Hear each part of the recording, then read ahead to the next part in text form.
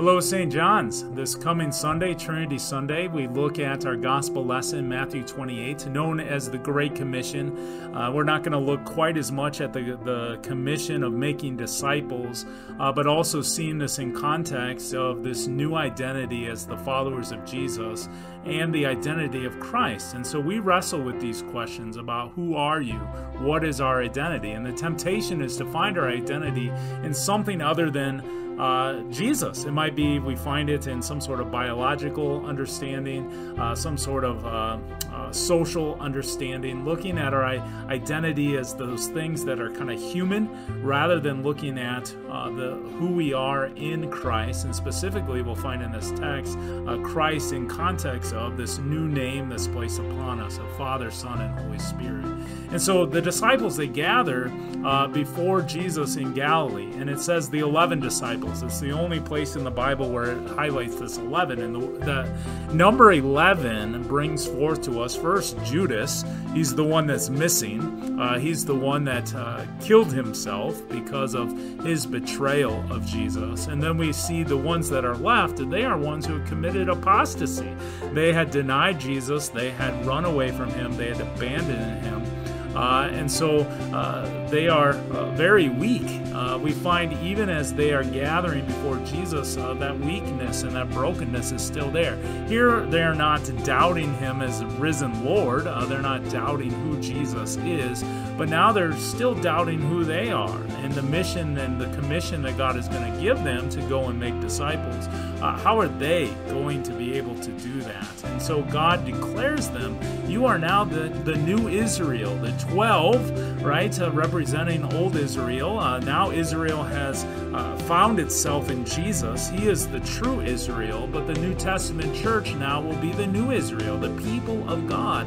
And so here the disciples represent and they stand in the place of the people of God given the commission by God to make disciples. And so uh, they have gone from apostasy, right, to this new Israel, but it's not because of anything they've done, uh, but because they come before uh, the identity of Jesus. Jesus is, his identity is the risen Lord. All authority in heaven and on earth has been given to him. Uh, if they come with their authority, they doubt. But Jesus says, No, I have all authority. I am the risen Lord, and I am the one who gives you a new name. Now, in the Old Testament, we have uh, the patriarchs, right? I am the God of Abraham, Isaac, and Jacob. And then we see that God says to Moses uh, this word Yahweh, I am who I am. And now, here in the New Testament, it is a new name, uh, the name of Father, Son, and Holy Spirit. Not a new idea necessarily. Uh, we have Father, Son, and Holy Spirit throughout the Old Testament too, although we don't uh, have it clearly stated like this. But the Father, the Creator, the one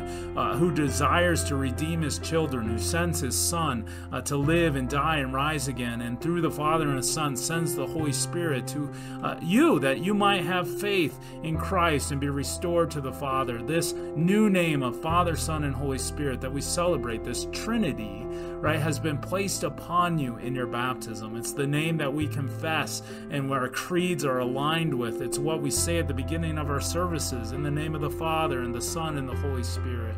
And then Jesus says, I am Emmanuel. I'm Emmanuel in my birth and my life and death and resurrection. I'm Emmanuel with you still in the word and the sacraments in the ministry of the church as you are now these uh, the, the new Israel, the people of God. I am still with you through this new name. And so uh, we talk about disciples being followers of Jesus. Uh, that is absolutely true. But uh, this weekend, also, maybe just thinking about uh, I'm a disciple. That means I live in a new name. My identity is in this risen Lord who is with me, and that I'm defined by Him. I've been baptized into Him. I am uh, one who lives under Father, Son, and Holy Spirit. And that identity unites me with all other children of God, those who also have been under this new name of Father, Son, and Holy Spirit. So, who are you?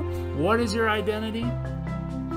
Well, we are tempted to find our identity somewhere within us find our identity somewhere as opposed uh, over to someone else.